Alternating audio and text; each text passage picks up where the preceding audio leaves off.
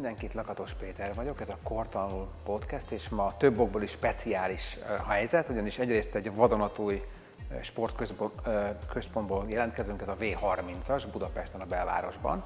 Másrészt nekem speciális, mert a film veszi fel az egészet, ez egy másik történet, és harmadszor pedig speciális vendégünk van, ugye, Totka Sándor, aki hozta magával az olimpiai érmet, úgyhogy egyrészt gratulálok, hogy legyen egy szépen. ilyen is, de, de hogy ez így mennyire szürreális még a, a történet, hogy, hogy olimpiai bajnok? Annyi megkeresésem volt, annyi helyre hívtak, stúdióba, interjúk, hogy a sok interjú miatt megszoktam ezt, de pont egyszer volt egy olyan felkonferálás, hogy itt van Tótka Sándor olimpiai, kétszeres világ, és négyszeres Európa-bajnok kajakos, és a négyszeres Európa-bajnok kajakos volt a legfurcsább hangzás, ez nagyon furcsa egyébként, nehéz megszokni, meg nem is úgy élem az életemet, hogy akkor én most olimpiai bajnok lettem, hanem ugyanaz az ember vagyok, mint aki voltam két hónappal korábban is, de örülök annak, hogy sikerült elérnem, ami, amiért dolgoztam már nagyon hosszú évek óta.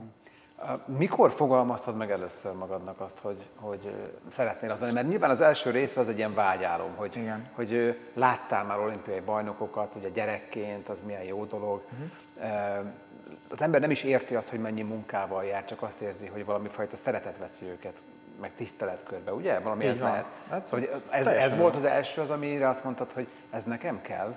Amikor az első nemzetközi versenyem, az 2010-ben az ifjúsági olimpián volt, ez akkor a leges-legelső ifjúsági olimpia volt, ott sikerült aranyéremmel hazatérnem, és akkor jutott eszembe, hogy esetleg lehetne, lehet, hogy működne ez egy ö, nagy felnőtt olimpián is.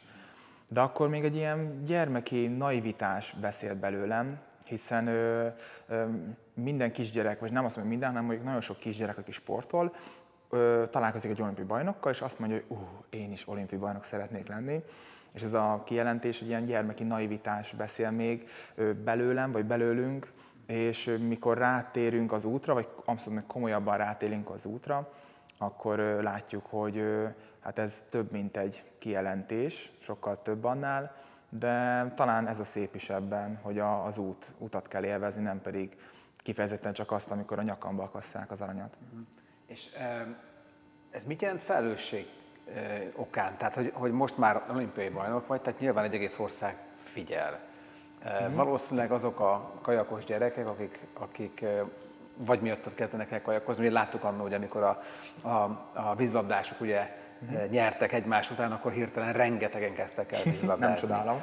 Szóval, hogy, hogy ez remény, van-e arra remény, hogy többen kezdenek el kajakozni, és hogy, hogy te ebben mennyire tudsz részt venni, mint aki uh-huh. hát segíti az ő inspirációjukat?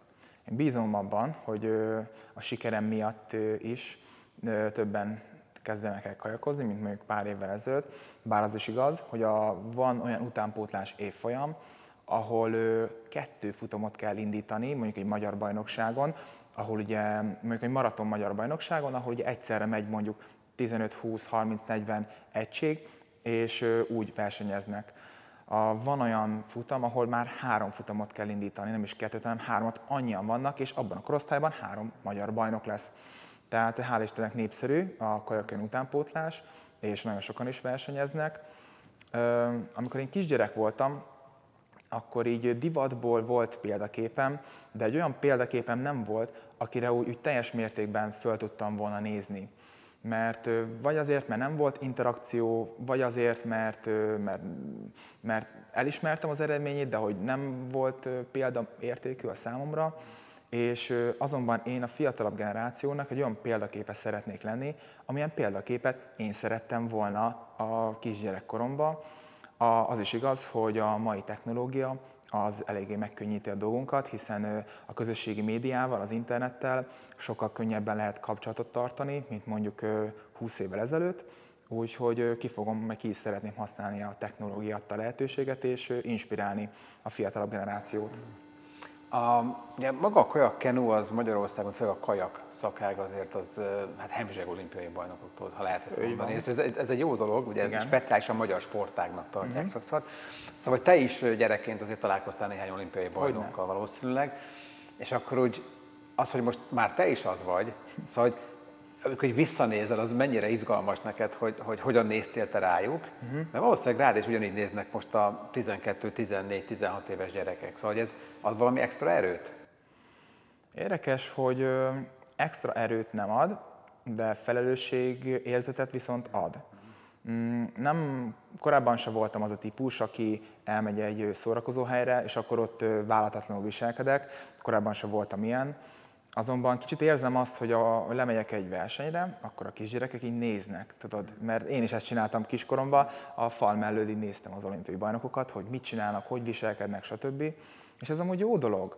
Tehát a gyereknevelés is ugye, ott is van egy passzív nevelési fázis, amikor ugye a gyerek csak, csak figyeli a szülőnek a viselkedését, a reakcióját, és biztos vagyok benne, hogy a olimpiai bajnokként is ugyanilyen felelősséggel kell élnem a mindennapokat, hiszen a gyerekek bárhonnan tudnak nézni, egy étteremből esetleg, de lehet, hogy pont a kajakversenylő, vagy mondjuk a közösségi médiából is nézik, hogy Sanyi hogy posztol, mit ír, milyen képeket tesz föl, stb. Úgyhogy érzem a felelősséget, de, de mindenképpen is nagyon boldog vagyok, hogy olimpiai bajnokként lehetek motiváló személy a fiatalabbaknak, embereknek, vagy bárkinek, aki kicsit is érdeklődik a kajakkenu iránt. Mi az, ami téged közelebb a sikerhez, a, a tehetség vagy a szorgalom? És hogyha mondjuk te bármelyik, akkor a, ezt hogyan fogalmazod meg? Tehát mi a mhm. te szemedben mondjuk a tehetség, és akkor mi a szorgalom? Ez egy nagyon jó kérdés. Még ezt senki nem tette föl. Hát azért kérdezem, mert, mert néha úgy érzem, hogy ha én azt mondanám egy olimpiai bajnoknak, vagy bárkinek, aki ott az első százban volt, tök mindegy, mert mindenki uh-huh. iszonyatos munkát berakott, Igen. de azt mondanám, hogy azért került oda, mert tehetséges, az lehet, hogy egyfajta sértés is lenne.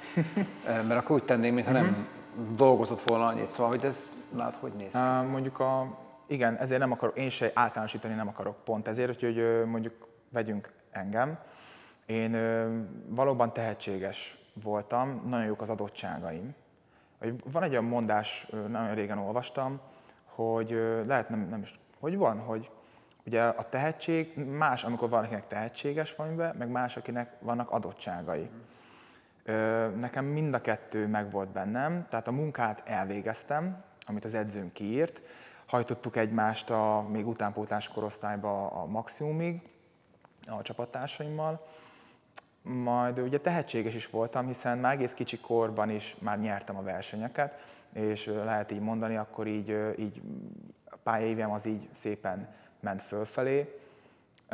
Elején szerintem kell a tehetség, mivel gyerekkorban, ráadásul az is nagyon sokat számít, hogy ki mennyire fejlett. Valaki akcelerált nagyon, valaki kevésbé, és amikor eljutnak már a junior korosztályba, a 18 éves korosztály, akkor nagyjából már azért egyen, egy, a, a, ezek a életkor által nyújtott előnyök, azok így egyen, egyenlő fázisban tartanak. Majd amikor felnőtt belép valaki, akkor is eltelik egy pár év, és ilyen 20 eleje körül már ott szintén már simán fölveszem a versenyt, 21 évesen a 30 éves olimpiai bajnokkal. És fú, nem is tudom, valamit, ja igen, arról beszélgettünk a kezetekről, meg a tehetségről, majd nem is olyan régen, én még 2017-ben, 2018-ban én azt hittem, hogy elég a kajakozáshoz, a sikerhez az, hogy én megcsinálom az edzést, amit az edzőm kiír, azt a naponta az a két óra edzés az elég, és akkor. Az eredmény majd jön. És mi egyébként így nyertünk Molnár Petivel világbajnokságot 2015-ben, olimpiai számban, 200 méter párosban, zöldfülűként, nem is hány éves voltam, 2015-ben, ugye 21 éves voltam, tehát akkor ugye azt gondoltam, hogy az edzéseket megcsináltam, nyilván edző mondta, hogy aludjak, aludtam sokat, és kész, ennyi volt. De aztán jött a 2016-os év, a 17-es év, amikor elkezdett gyorsulni a sportágunk, hogy akkor rájöttem, hogy azért lehet, hogy nem feltétlen elég ez. És elkezdtem így kitágítani a látókörömet, és akkor kezdtem el nézelődni, hogy akkor a, a, a kajakedzéseken kívül mit tudok csinálni, mik azok a dolgok, amik az én teljesítményemet fogják segíteni. Az gyakor egyébként, akár a te sportágatban, vagy most már azért több más sportolóval is azért mm-hmm. nyilván kapcsolatban vagy, hogy, hogy a siker érdekében elkezdenek a maradék 22 órával is foglalkozni. Igen. Mert azért uh, nyilván a, az edző jellemzően azt a akkor kettő órát tudja igazából felügyelni, Így van. amelyre rálát. De, de alapvetően ugye minden, ami, amit úgy hívunk, hogy adaptáció, uh-huh, uh-huh. az meg a maradék 22-ben történik, és én nagyon sokszor azt látom, hogy ezzel a 22-vel uh, meglehetősen hanyagul bánnak az élsportolók. Oh, persze. Hogy mi volt az a pillanat, amikor azt mondtad, hogy állj, az, ez nem olyan egyszerű ez a történet, ezzel, ezzel kötelező foglalkozni, hogyha vagy a szintet akarom tartani, uh-huh. vagy, vagy a, el akarom érni az, az álmomat. Ez egy folyamat volt az én részemről. Elsőnek is így mázlim volt, hogy az első masszőröm, aki gyomendrői származású, Dávid Peti, ő gyerekkorom óta masszíroz, és amikor fölköltöttem Budapestre, egyre több masszőrnél voltam, és rájöttem, hogy amúgy ezek a masszőrök nem olyan kvalitásúak, amihez, ami hozzám illik. Nem akarok nagyképű lenni, de ugye a Ferrari autókat és a Formula autókat is nem egy, egy átlagos szerelő szereli, úgyhogy vele kezdődött ez az egész. Majd amikor a, Red Bull szponzorom 2018 óta, ők úgy válogatják be a sportolóikat, akik küldik Salzburgba, egy hétig tesztelik őket az Athlete Performance Centerbe, és ott kiderül, hogy alkalmas-e egy sportoló a jó eredményre, ők is szépen megszűrik, hogy kinek van jövője, kinek nem. És mikor legelőször kimentem oda, kaptam egy 70 oldalas jegyzőkönyvet magamról, vérkép, vérösszetétel, testösszetétel, aerob, anaerob állóképesség, 4D-s mozgáselemzés, rengeteg csontváll, nagyon-nagyon részletesen kaptam az elemzést, és hát mondták, hogy kell egy fizikoterapeuta. Oké, okay, honnan szerzek én egy fizikoterapeutát? És így egy egyik ismerősöm ajánlott, ajánlotta az egyik fizikoterapeutát, aki nem rémült meg egy 70 oldalas jegyzőkönyvtől, és hetente háromszor, négyszer jártam hozzá, és mikor két hónappal később visszatértem a, a központba, akkor mondták, hogy Sándor, le a kalappal, a, a fizikoterapeuta hölgy mondta azt, hogy ő már öt éve van itt a Red Bullnál, és még ilyen részletességes senki nem foglalkozott a fizikoterapeuta részével a jegyzőkönyvnek. És ez is számított. Aztán következő lépés, ugye volt más sportpszichológusom is, korábban, de valahogy a 2019-es évben jöttem rá, hiszen úgy versenyeztem 2019-ben, egyesben, hogy nagyon izgultam, az alkarom teljesen ö, ö, elnyomta, tehát a, a hajszál erejémet teljesen elnyomta, nem volt enő a kezembe, így versenyeztem, elképesztően izgultam, és ö, két, két, a válogatón, 200 méteren második lettem mind a két válogatón, és akkor is jöttem, hogy ezzel azért valamit lehetne kezdeni, és hiába voltam már más pszichológusnak, akkor találtam meg. És bocsánat, úgy érezted, hogy, hogy az eredmény benned van? Igen, de, hát edzéseken de, nagyon jól világos, mentem. de hogy annyira hmm. drukban vagy gyakorlatilag, Stressz, hogy ugye most ez nyilván azt akartad ezzel kifejezni, hogy a lapátot szorítottad, mint az őrült gyakorlatilag, Igen. ugye? Így nem van, van illetve nem is, nem is éreztem magamat erősnek, hiszen gyengének éreztem magam, a stressz megemésztett. Hmm. Akkor így bővült még egy fővel a kis csapat egy pszichológussal. Majd ugye bejött a pandémia, elhalasztották az olimpiát, edzőm elküldött minket két hétre pihenni, és feleségemmel leköltöztünk szülővárosunkba, Gyomendrődre egy vízparti nyaralót béreltünk. Mert ki tudta, hogy mi lesz, lehet, hogy bezárás lesz, nem hagyhatjuk el a lakhelyünket, és akkor úgy voltam vele, hogy vízparti telek, én ott szépen elevezgetek, hiszen nem hagyom el. A, és akkor egyik este beszélgettünk Ágival, és beszélgett, és az, az volt a téma, hogy nyertünk egy évet, és ezt az évet hogyan tudjuk még jobban kihasználni. És akkor ö, kerestelek meg téged, hiszen már a légzés már nagyon ö, foglalkoztatott, a könyvedben is olvastam, még a legelső biohacker könyvben a légzésről írtál, nagyon-nagyon gondolatébresztő fejezetet, és akkor is megkerestelek téged, és együtt ugye úgy kerestelek meg téged, hogy olimpiai döntőbe én úgy, akarok, úgy akarom átszakítani a célvonalat, hogy én mindent megtettem, és a légzés is az egyik fázisa volt ennek. Bocsánat, gyorsan, mert ezt, ugye amikor mi néztük az olimpiai döntőt, akkor ugye azt láttuk, hogy volt egy tanástalanság, hogy ki nyer, csak hogy, a, hogy értsék a nézők, Igen. hogy hogy fordítsuk le ezt, hogy ez centiben, ez mit jelentett a különbség a második és az első között? Centit nem számoltunk ki. Tehát a mérnökünk az kiszámolta, hogy hány tizedet hagytam benne a pályában, okay. mert nem volt tökéletes pálya, de centinkben nem tudjuk. Most tippelni tudok, hogy körülbelül ennyi, mondjuk egy 20 centi, körülbelül okay. nem több 20 centnél. Oké, okay. és pénzszámban? Igen, így okay. van. És Szoros volt. okay, tehát hogy, hogy a, a, amit megint csak a nézők kedvéért, mert, uh-huh. mert nagyon nehéz elmagyarázni egy olyan sportot, amit az ember nem csinált. Tehát, uh-huh. tehát hogy, hogy minden, ami ilyen típusú sprint, ugye, tehát hogy beszéltél nagyon sokat interjúkban a Usain Boltról. Így van. Á, hogyan lehet ugye tökéletesre kiszámolni egy, uh-huh. egy, egy, egy sprint számot, de hogy például mennyire vagy besavasodva a végén? Tehát ezt már tudjuk, most mindenki megtalálta, hogy negy, megtanulta, hogy 43 csapás az egyik oldalon, 43 a másik oldalon, ezt már mindenki tudja fejből. Oké. Okay. De hogy, hogy mit érzel ilyenkor? Tehát ez, ez savasodásban, fáradtságban, ez mit jelent ott? Uh-huh.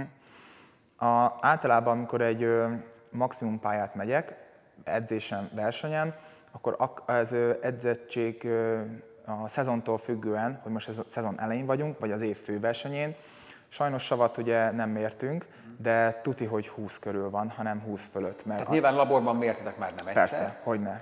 Okay. Szoktunk is, hiszen nem is értem, hogy akik nem mérni. Sajnos van olyan olimpiai bajnok, nem azt mondom, hogy sajnos, hanem van olyan olimpiai bajnok, aki egyébként nem mérnek, és nem is értem. Na mindegy. Ez hosszú. Tehát magyarán a néző kedvéért csak a 20-ast tegyük egy picit keretbe, hogy értsék uh-huh. az mhm. emberek. Tehát egy átlag ember már olyan 4-5 körül már nagyon rosszul érzi magát. Aha. Ez tényleg így néz aha, ki. Aha. És 15-16 környékén az emberek azért már kifejezetten, tehát nagyon sokan, sokaknak ilyenkor az, az már vállalhatatlanul aha. magas, még sportolóknál aha. is. Ugye egy Phelpsnél mondtak olyanokat, hogy valahol 18-20 körül voltak komoly uh-huh. értékei. Szóval ugye a 20, csak hogy próbáltam így most kontextusba aha, helyezni, aha. Hogy egy átlagember szintjén már bizony 4 is roppant uh-huh. kellemetlen tud lenni. Igen. Szóval, hogy, hogy nagyjából ezt érzed. És akkor uh-huh. ugye itt arról beszélünk a légzés kapcsán, egy picit, hogy visszatérjünk oda, uh-huh. hogy amit az emberek többsége nem ért, hogy, hogy bizony fel lehet készülni erre az úgynevezett magas szintű acidózisra, uh-huh. Uh-huh. például tengerszinten. Ugye, mert van. ez volt az érdekesség, Így hogy van. magaslati edzést szimuláltunk veled. Uh-huh, így van. Tengerszinten. Uh-huh. Ugye? És ez, tud, ez is tud fájni. Hogyne, nem is kicsit. Amikor annyira gyakorlatilag, hogyha végigcsinálunk egy, egy olyan részét a légzésnek, hogy be, kifolyom a levegőt, befogom az orromat, ezt elmondhatom? Nyugodtan. Jó. És akkor ugye elkezdek tempósan sétálni, majd az első légszomnál váltok tempót, magasabbra kapcsolok, a következő légszomnál már futok, és tényleg elmegyek a végletekig, szinte már összeesek, és akkor valóban ö, a combjaimon nagyon, ugye át, futok már a végén, és a combjaimon rendesen úgy be vannak savasodva, mint egy futóedzés ö, után lennék. Tehát tényleg ezt ö, abszolút, ahogyan elmondtad, ez tényleg így van, oxigén advantage is lehet ö, ezt ö, szimulálni. Ami az érdekesség, ugye, mert itt kettő dologról kell azt, azt gondolom, hogy beszélni, és mind, valahol mind a kettőt érintett. Mm. Ugye van az egyik rész a teljesítmény, ami én nem is értem, hogy Magyarországon, de ez az én magán megjegyzésem, nem kell majd egy bologas, de nem értem azt, hogy élsportolói szinten miért nem foglalkozunk a teljesítményfejlesztéssel légzés irányából is. Uh-huh. Zárójel bezárva. És akkor van a másik része, amit viszont megint csak említette, ugye a légzés azon része, ami hozzátartozik a mindennapos légzésemhez, az alvásomhoz. Igen. Tehát, hogy, hogy mennyire tudtál arra figyelni, és vagy mennyire kellett arra figyelned, uh-huh. hogy a, az alvásod, a pihenés, a regenerációd uh-huh. az a helyén legyen ahhoz, hogy ezt a határterhelést, amit folyamatosan kapsz, azt el tud viselni, sőt abból hát pozitívan gyereké. Még egy picit visszakanyarodhatok a, Abszolút. a mondatod elejére. Bocsánat, igen. Hogy engem azt fogott meg leginkább, és szerintem vagy egy podcastben, vagy a könyvedben, nem tudom, olvastam, hogy miért fontos a légzés. Az ember, de lehet, hogy ezt a nézők is többnyire tudják, hogy az ember étel nélkül akár egy hónapig is kibírja. Az ember víz nélkül három-négy napig bírja, és levegő nélkül meddig bírja az ember. És nekem ez a mondat, ez annyira átkapcsolta a gondolkodásomat, hogy aha, ennyire fontos a légzés. És a, a, ugye az edzőm is mindig mondja, hogy a legjobb dopingszer az az alvás. És hála Istennek egyébként jó alvó voltam, vagy vagyok, és ö, odafigyelek arra, hogy a minimum 8 és fél meglegyen, a minimum. De amikor olimpiára készültünk, és már ugye mm, peaking volt, hegyezés, akkor inkább azt mondom, nyári szezonban, akkor azért a 9-10 óra simán. És nyilván ez kell egy partner, a feleségem, aki ebbe partner, hiszen ő mindig azt mondja, hogy átaszod az egész életedet. és ö, ö, sokszor volt az egyébként, hogy Ági, mondom, 9 óra van, én, én már alszok. Jó, persze, akkor ő is bejön aludni. Mondják, hogy reggel hatkor kellene legszívesebben, mert hogy futna egyet, vagy edzene otthon, és mondom, Ági nem, most hétkor kelünk. Mert az is, az is, az is zavaró, hogy, hogy hiába mondjuk aludnék mondjuk 10-től 7-ig, de hogyha mondjuk a párom föl kell 6 órakor, már nem olyan az alvásom, ugye ezzel is folyamatosan monitorozom, nem árulok el nagy titkot, hogyha ugye a sleep gyűrűt használom, és azzal is folyamatosan néztem, hogy mennyi a mély alvásom, mit éreztem, mennyire vagyok kipihent, és ott viszont tényleg pontosan meg tudom mondani, hogy hány percet aludtam, és észrevehető volt, edzőműként mondja, hogy ő látja is, hogyha megvan a 9 óra alvás, akkor nekem a teljesítményem az így hétről hétre követhető, hogy javul. Ha mondjuk 8 órát alszok, mert van olyan is, mondjuk rendszeresen, mert így állok be, most ilyen az életem, akkor azt is észreveszi, hogy akkor kisebb mértékű a javulás, mint hogyha 9-10 órákat alszok. Ugye Michael Phelps is, ha jól tudom, nem is Michael Phelps, hanem Roger Federer, te mondtad, Igen. ugye? Hogy Roger ugye világszínvonalon tenisztett, aztán volt egy kis lejtő, mm. és utána újra világelső és Roger, mi történt? Többet alszok. Igen, és ezt, ezt az emberek többség azt gondolja, hogy ez valami tréfa, meg hogy megkerüli a, a... De a helyzet az, hogy nemzetközi statisztikákból ugye lejön, hogy az élversenyzők átlagosan 6,5 órát alszanak. És ezt nem tudom, hogy ez mire elég. Tehát én azt gondolom, hogy, és ezt látjuk egy másik statisztikából, hogy amikor viszont megemelték 7 és fél órára az alvásokat, ami mindig nem elég Így egyébként, van. abban a pillanatban, ugye ez egy, ez egy elit kosárlabda csapat volt. Abban a pillanatban az összes, a három pontos és két pontos és büntető dobások statisztikailag számíthatóan ilyen 5 és 7 százalék közötti azt hittem a sérüléseket fogod mondani, nem a teljesítményt. A sérülésről is lehet beszélni, mert az is nagyon érdekes egyébként nyilván, de, de azt pedig megint csak látjuk, uh-huh. hogy például a légzéssel kapcsolatban, hát a testsportokban különösen mennyire fontos uh-huh. az, hogy mondjuk az a gerinc stabil legyen. Uh-huh. Ugye, az egész Hogyne. azon múlik. Hogyne. És ha valaki viszont ugye szájlélegzővé válik egy ilyen sportban, és így kevesebb, vagy kevésbé aktív a rekeszizom, uh-huh uh-huh. aminek ugye az a dolga, hogy szerencsétlen stabilizálja a gerincet, miközben levegőt is venni kellene. Uh-huh. Szóval, hogy azért gondolom a kajak az eléggé fertőzött mondjuk a derékfájdalomtól. Derék, vár, De... rengeteg, persze. Uh, én egyébként nem tudom, hogy szerencsés vagyok-e, de ugye mi nagyon figyelünk direkt a törzs erősítésekre, az átlagnál jobban, és nincs is nagyon derékpanasz nálunk. Uh, nyilván most nagyon sokat tudnék mesélni, hogy a kondi gyakorlatokban is a deadliftet nem minden csapattársam úgy csinálja, hogy, uh, ahogyan az kell, és ott van is sérülés. Én erre különösen figyelek arra, hogy, uh, hogy nekem ezek uh, rendben legyenek. Egyik tulajdonságom, hogy a tökéletességet próbálom hajszolni, tökélet, nagyon szeretem a tökéletes edzéseket, ami ugye nem sok van, mert ez nagyon ritka, de mindig a tökéletes felé ma- maximalizmusom hajt engem, és a deadliftet csinálok, már rögtön kérem a videót, és megnézem, hogy jó le, aha, csípő meg, aha, akkor, akkor inkább lejjebb veszem 10 kilóval. A, a, a légzéssel kapcsolatban is, ott is, hát szerintem nem szívesen elmondom a nézőknek is, hogy 15-ös boltértékkel kezdtem. Tehát az, és amikor mondtad nekem, hogy igen, 15-ös boltérték, a kéz hideg, a, mondtad a ordogulást, ordogulást mm. voltál még egy, amit teljesen rám jelzett, most nem teszem, nem tudom mi volt az. Na mindegy. De, de a lényeg az, hogy értsék a nézők, mert most mondtál egy számot, Aha. és ugye nekem is ugye általában a, a, a, azt kérdezik általában az átlagemberek, eh, hogy nem mintha lenne ilyen, de egy pillanatra legyenek ilyen átlag emberek, hogy, hogy amikor olimpikonokkal dolgozom, vagy sportolókkal, hogy az ő boltértékük, ugye ez a kilégzés utáni könnyű visszatartás teszt, Igen. azok kedvére, akik meg akarják googlizni. Szóval, hogy, a, hogy az egy élsportolónak biztos drámaian magas. És azt kell, hogy mondjam, hogy nem találkoztam még olyannal, akinek 20 fölött volt. És nyertem korábban világbajnokságot, Európa-bajnokságot, de és utána kezdtem el foglalkozni, kezdtünk el foglalkozni a légzéssel, és hát nem azt mondom, hogy büszke lennél rám, mert a 40-et nem értem el, de a 30 másodpercet azt igen, tehát duplája lett. És az is igaz, hogy ez nem olyan volt, hogy csináltam egy hétig a légzőtréningeket, és akkor kész, meg vagyok, hanem baromi nehéz. Nagyon. Hát valamikor egy hónap telt el, hogy semmit nem változott. Mondom, ez, mondom, ez nem hiszem el, de tudom, hogy ezt csinálni kell, és higgyem el, hogy a, a Petrik is mondta, meg te is mondtad, hogy, hogy ez, ez, ez, ez működni fog, meg volt más sportol, akinél, egy, akinél nem tudom, három hónapig ment az Oxygen Advantage, de hogy nem javult az érték, majd utána beindult. Tehát, hogy edzéseken és bemelegítés közben, kajak közben csináltam lélegzetvisszatartásokat, és próbáltam minden egyes olyan dolgot megragadni, amivel gyorsabb lehetek. Addig csináltam orlégzéssel az edzés, ameddig bírtam.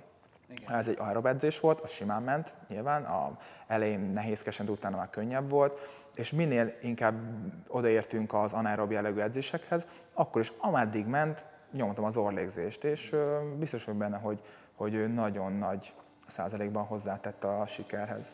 A helyzet az, hogy ha ezt most valaki hallgatja, vagy nézi, és próbálja lefordítani a saját életére, akkor ugye nagyon sokszor az történik, hogy nyilván nem mindenki kajakozik, de rengetegen gyalogolnak, futnak, kocognak, stb. És nagyon sokszor ugye ezt valahogy úgy lehetne átformázni, a, megint csak az átlagemberről beszélünk, hogy ezt amennyit csak lehet, próbálja meg orlégzéssel végezni. Mm. És ugye azért örülök annak, hogy ezt mondtál, amit mondtál, hogy a többségében arról számolnak be, hogy az elején egy lassulás van, hiszen orlégzéssel nyilvánvalóan kisebb sebességet tudunk elérni. Az én esetemben is így volt ez. Így van, és ilyenkor jön az ego, és akkor uh-huh. az mhm. van, hogy ú, de hát akkor ez már stopperen máshogy néz ki, más kilométert futottam, stb. Szóval, hogy, hogy ehhez kell az a fajta uh, hosszú távú gondolkodás, uh-huh. hogy az mhm. ember azt mondja, hogy hát most egy kicsit az egót félretesszük, mert ebből lesz egy közép-hosszú távú jelentős javulás, és hát ezek szerint lett is. De akkor ugye mondod, hogy 30 körül van a, a, a bolt érték, tehát van egy másik értékünk, ugye ez a maximális légszomtest, vagy lépést uh-huh. ki, hogy nevezi. Szóval nyilván az is ö, egy érdekes volt annó, mert az is ilyen 34-35 környékére emlékszem, tehát az olyan más... Szerintem még lehet annyi se volt, nem? Annyi se volt? Oké. Okay. de, de most már az is jobb. Igen, hogy nem, hogy nem. Ez volt a legfontosabb érték. Így van. A, ugye az volt a célunk, hogy a 25 fölé vigyük a, uh-huh. a boltot, mert ne legyünk alatta, Így viszont amiből, ami a csövön kifér, az hozzuk ki a második értékből, hiszen ez mutatja meg azt, hogy hogyan tűröd az acidózist, amit eddig is jól tűrtél. Így van. De ezután talán még jobban, vagy ezt hogy érezted? A, az egyik, ugye, te is mondtad, hogy, hogy a, ez a két teszt, ez egyenesen arányos. Uh-huh. Tehát, hogy mind egyik húzza a másikat. És mikor tavasszal elkezdjük, mindig a kajakosok elmennek úgymond meleg égövi táborban, amikor itthon februárban valamikor 5 fok van, de valamikor mínusz 10, nem tudunk evezni, nem tudunk hatékonyan edzeni, ezért népszerű edzőtábor lett Dél-Afrika, Dél-Afrika és ott szállunk vízre. Jó melegbe tudunk készülni. És ott az első héten pulzusra edzünk, tehát 150-es pulzus alatt edzünk, aztán elhagyjuk, mert a edző meg a mérnökünk azt mondja, hogy a pulzus számnak, az, az, aki pulzus számra edz, azok amatőrök. Mi, mi, ezért mi csak az elején használjuk. És akkor mondja edzőm, hogy együtt megyek a többiekkel, de nekem a pulzusom az tízzel alacsonyabb, mint a többieké, vagy mondjuk egy résztáv után rögtön nekem bezuhan, a többieké meg majd csak szépen lassan. És mondom, hát Viktor, mondom, én foglalkozok a légzéssel, és mondom, tuti, hogy ez amiatt van, hiszen korábbi években nem volt ekkora különbség köztünk. A, mi is ugye meghatározzuk a aerob-anaerob küszöböket, és nekünk a, a mérnökünkkel edzünk, meg a mérnökünk kifejlesztett egy eszközt, ami a lapátban van egy erőmérő műszer, és azt meg tudjuk mindig mondani, hogy a, a, a savasodó értéket tudjuk mérni, a, tudjuk hozzá viszonyítani, a... hogy milyen erőkkel megyünk. Ugye most egy érdekes helyzet lesz, mert eddig ugye arról beszéltünk, hogy mennyi mindent te megtettél azért még extrában, tehát kicsit tovább mentél, mint talán az átlag. Na, egy új helyzet van, mert hogy párban fogsz innentől kezdve menni, mm. tehát hogy van egy másik muki, akiben nyilván megbízol nagyon, akivel én nem sokára majd találkozom egyébként, de hogy, hogy eh, hogyan tudod őt is majd rávenni arra, eh, vagy megpróbálod-e őt is rávenni arra egész pontosan, hogy ezek a dolgok, ami ami neked bejött és működik, azokat ő is elkezdje alkalmazni az életében, hiszen most egymástól függtök majd, nem? Így van. Hát van a fejemben egy recept. Ö, régebben is ö, maximalista voltam, beszéljünk most csapathajóról, párosról, négyesről, de mivel úgy gondolom, hogy olimpiai bajnokként hitelesen tudom az észrevételeimet mondani a többieknek, hogy én mit érzek a csapathajóban. Egyébként ugye rengeteg műszerrel el vagyunk látva, és amiket én érzek, mondjuk mondom Viktornak, igen, a, az 500 méteres pálya körülbelül 230 méternél éreztem mondjuk egy billenést, vagy egy lassulást, vagy bármi, akkor a műszer is mutatja, hogy amúgy tényleg volt. Tehát hogy van egy ilyen készség, képességem, hogy tök jól érzem, hogy mi, dolg, mi működik a hajóba, vagy mi munkálkodik pont a hajóba. És hogyha én egyesbe versenyeztem, akkor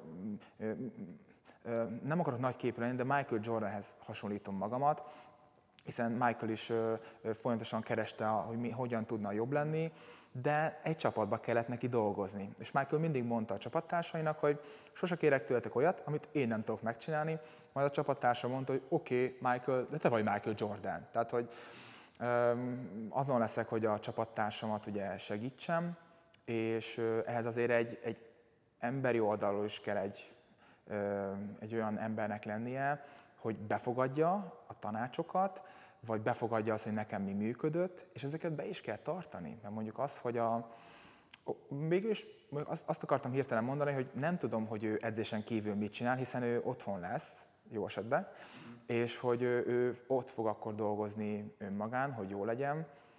Bár az is igaz, hogy mondjuk a légzést tudjuk ellenőrizni nagyon egyszerűen, akár kevesebb, mint egy perc alatt, vagy fél perc alatt. Mérünk egy-egy gyorsan. Úgyhogy végül is tudjuk.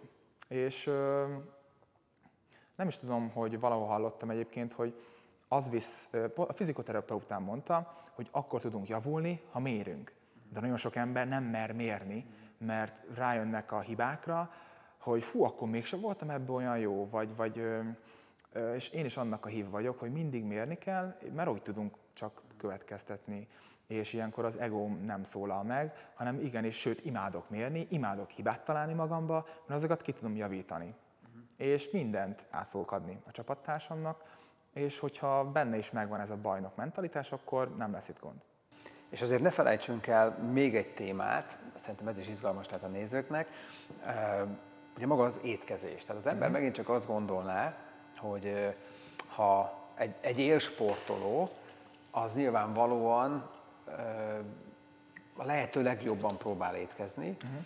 Egyébként ezt tudja is, hogy ez, ez hogyan néz ki, de ha nem tudja, akkor nyilván a stábjában van valaki, aki ezt tudja. Igen.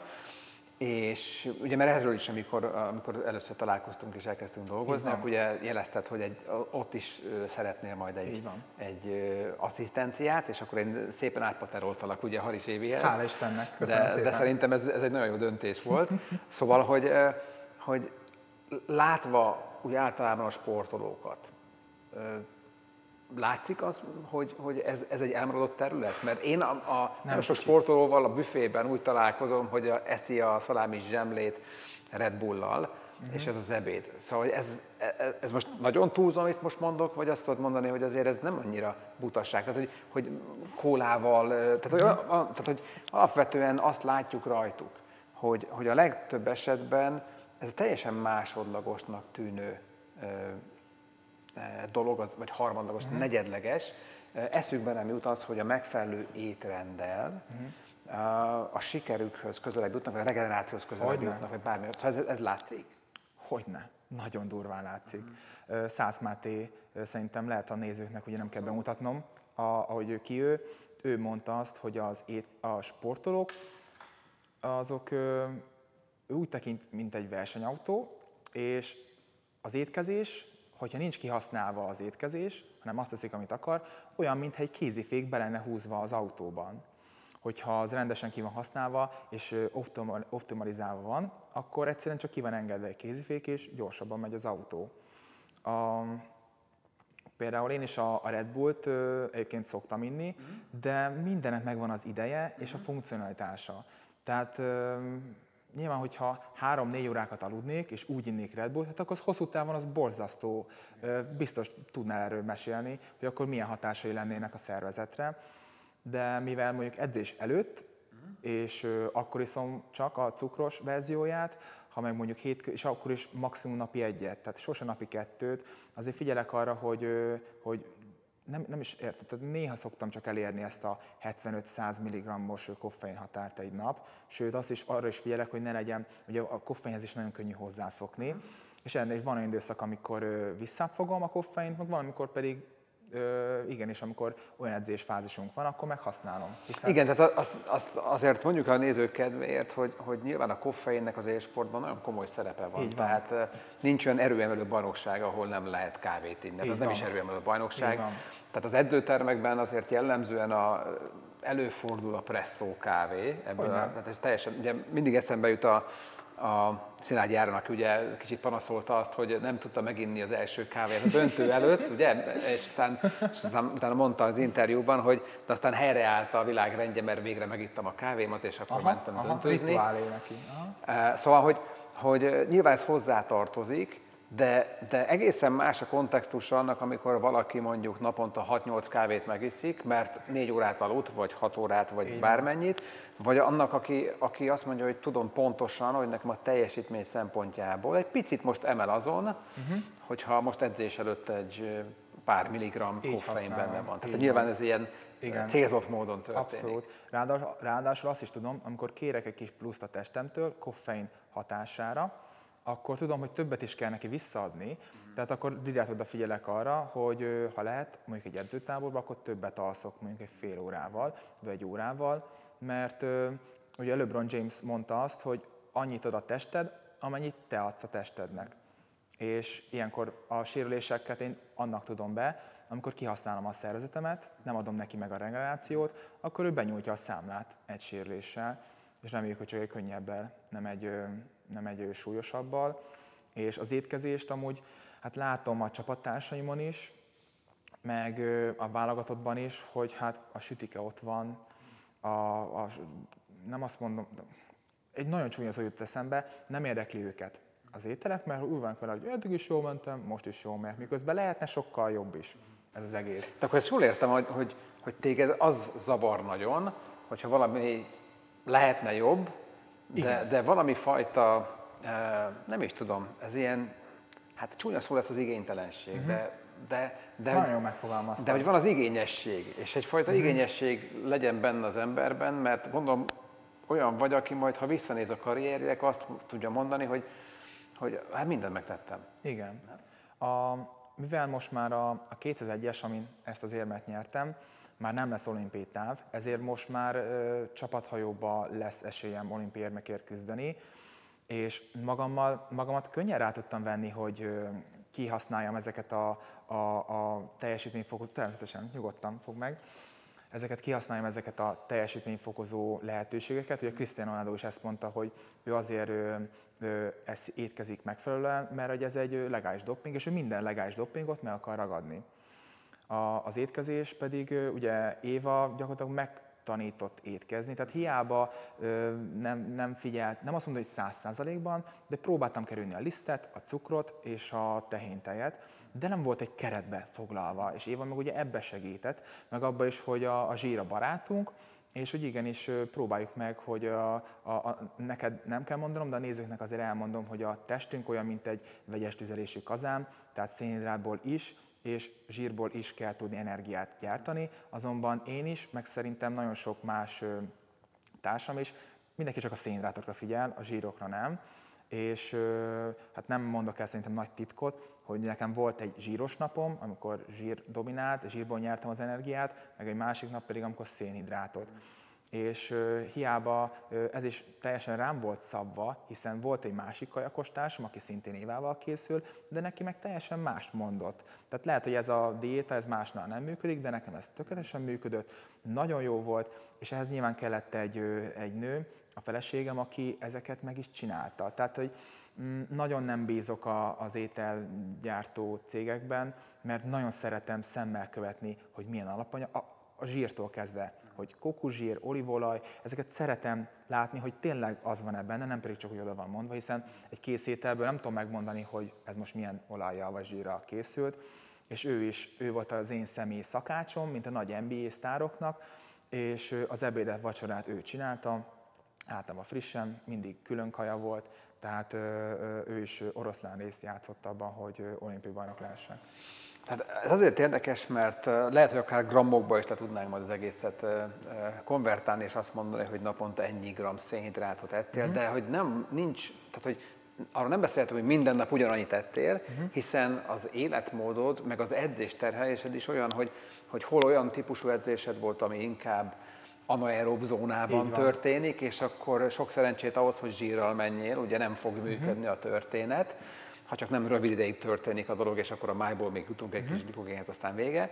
Vagy, vagy, vagy arról beszélünk, hogy mondjuk egy praktikusan egy erőemelő edzésed van, ugye deadliftet mondtál, és oda lehet, hogy kevesebb cukorra van szükség, mert emelsz hármakat, négyeket, uh-huh. lehetséges, uh-huh. és ezt csak nem neked magyarázom a nézők hogy értsék, hogy, hogy az, hogy meg van hullámoztatva ez gyakorlatilag, annak nem az az oka, hogy, hogy, hogy legyenek csalónapjaid, hanem az a, de, de hogy nem az a, a célja, uh-huh. hanem az a célja, hogy teljesítményt kiszolgálva a megfelelő tüzelőanyagot biztosítsa a megfelelő edzéshez, és aztán néha persze a spárta életmódhoz kell egy kicsit, de hát le is égeted magadról, szóval most miről persze. beszélünk? A, ezért is szerettem, én dolgoztam már egyébként dietetikussal, többel is, és azért is szeretek Évával együtt dolgozni, mert ő nem azt írja ki, hogy csütörtökön te egyél, nem tudom, 50 g szénhidrátot, ennyi fehérjét, és kész, vagy meg ennyi zsír. Hanem azt mondja, hogy ad egy keretet, útnak enged, és majd én úgy is érzem, hogy, hogy mennyit kell ennem. Mindig annyit tettem, amennyi jól esik. Mert nyilván jártam hozzá kontrollra, és ha bele kellett volna nyúlni, akkor belenyúltunk volna, de mindig optimalizált volt a testzsír százalék izomarányom. és jól is laktál. Igen, és jól is laktam ráadásul, és nem is tudom, valamit akartam mondani ezzel kapcsolatban, de akkor lehet most nem fog eszembe jutni. Oké, okay, akkor Ugye most még akkor három év van a következő olimpiáig, így, így most egy picit visszanyertek az időből, vagy elveszítetek, ez csak mm. nézőpont kérdése, de a lényeg az, hogy miben látod még, hogy, hogy, hogy akarsz lépni, uh-huh. tehát most az edzés kiveséztük, van-e még olyan terület, ami azt mondta, hogy szerinted ott még egy kis tartalékon van, azt még érdemes lenne valahogy kicsavarni belőle? A, ugye nekem, amikor hozzád is, amikor téged is megkerestelek egy bő éve, vagy körülbelül, ez körülbelül egy éve amúgy, akkor ugye neked is azt mondtam, hogy úgy akarom átszakítani a célvonalat az olimpián, hogy mindent megtettem. Ez megtörtént, és jelenleg nem is tudom, hogy, hogy ezen gondolkodtam a kocsiba, mikor jöttem idefele, hogy nem tudom, hogy hogyan lehettem volna gyorsabb még egy 100 méteren az olimpiai döntőben most.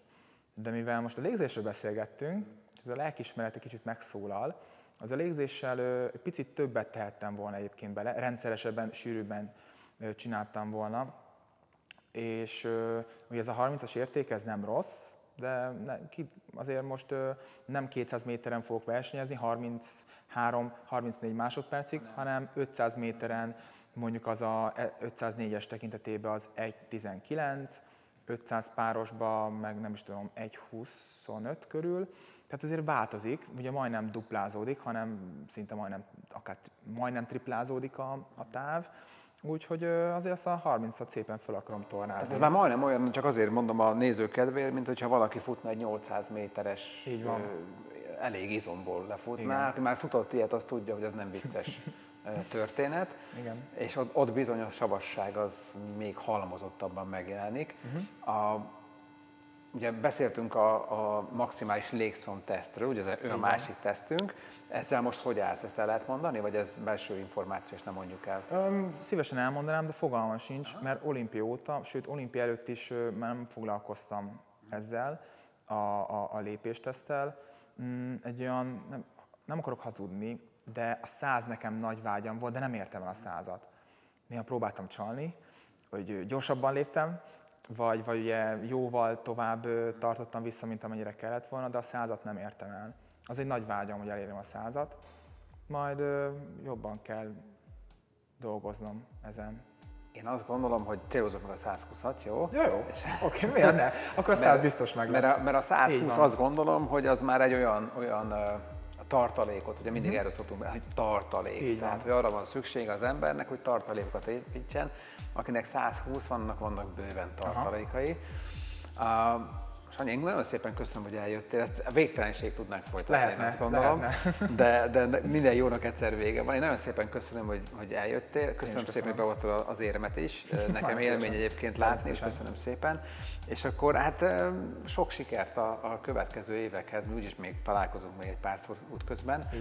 De, de nagyon drukkolunk, és tényleg még egyszer, most már végre szabályos, személyesen is tudok gratulálni a, a Köszönöm szépen, köszönöm a lehetőséget, nagyon élveztem, nagyon örülök, hogy nem a, a sima nasz kéréseket kaptam, és köszönöm a könyvet is. és nem tudom, még egy utolsó gondolat Bármi. a nézőknek, hogy most 8 órás ablakban tudok étkezni, uh-huh. és mivel nagyon sok megkeresésem van, nagyon sok embernek próbálok interjút adni, ezért pont az a podcast előtt a feleségem hívott, és Hanci, mikor jössz haza? Mondom, a podcast után. De hát ma még nem is ettél. És hát lehet akkor mai nap most egy bőrbe fog átmenni, uh-huh. ez is tök könnyen megy, de erről is már nagyon sokat beszéltél a csatornádon, úgyhogy én is alkalmazom, lehet, hogy most egy 24 órás bőrt lesz most, mert így alakul az élet, nem érdek meg. Igen, ez van ilyen, hogy az élet, ugye szokták mondani, az élet történik. Így van. Most ez történik. Most ez történik. Köszönöm Nagyon szépen. szépen köszönöm. Köszönöm. Köszönöm.